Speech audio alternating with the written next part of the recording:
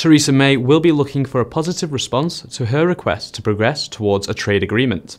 However, reaching an agreement is going to be a very long way away. Andrew Kenningham, Capital Economics.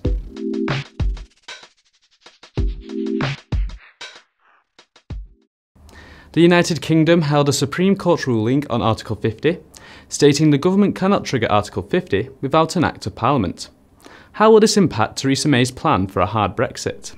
Well, it won't prevent uh, Brexit from happening because there's a very clear majority in Parliament to uh, support the, the Act, but it does mean she'll have to put legislation through both the House of Commons and the Lords, which will take some time, and there may be attempts to attach amendments and conditions to the Act, which could also slow things down somewhat. Um, you know, whatever happens is a long way to go before any negotiations are completed, and plenty, um, plenty of opportunity for things to go wrong in the meantime. It's Donald Trump's first week in office, and he has faced plenty of backlash from the public due to his bold changes he has already made. But how has his economic plan taken shape? Well, his economic plans are still exceptionally vague for somebody who's now been uh, in office for some time and has, you know, had several months to prepare his team. We know the general direction, which is a lot more protectionism uh, and a fiscal stimulus, some deregulation, uh, but we don't know any of the details.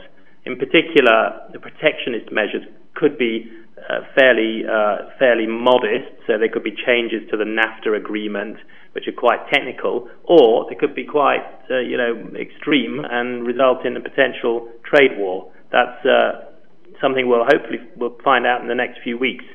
Um, and the size of the fiscal uh, stimulus is also unclear, as well as the timing um, and its composition.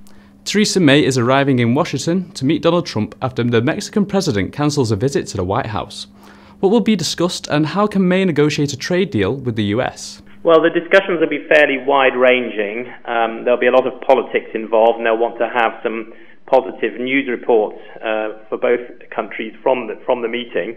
Um, there'll be substantive talks about um, foreign policy issues, including intelligence sharing, Syria, Russia, China, NATO, and so on. Um, in terms of economics, the key thing which uh, Theresa May will be looking for is some positive response to her request for progress towards a trade agreement.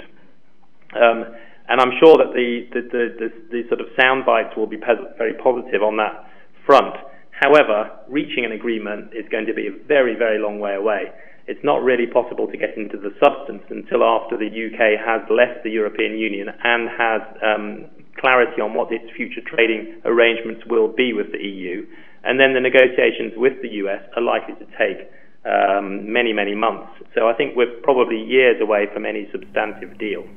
Thank you for your time today, Andrew, and thank you at home for watching. Be sure to join us next week for the latest business news. Goodbye for now.